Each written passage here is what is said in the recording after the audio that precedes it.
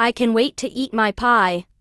Hey, Ugly Global, can I have a pie? No Tickle U because I already made one. Oh, you won't let me have a pie? Then fine, I'll eat it.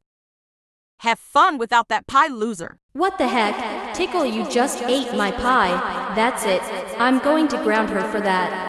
Oh, oh, oh, oh, oh. oh, oh. Tickle U. How dare you eat my pie?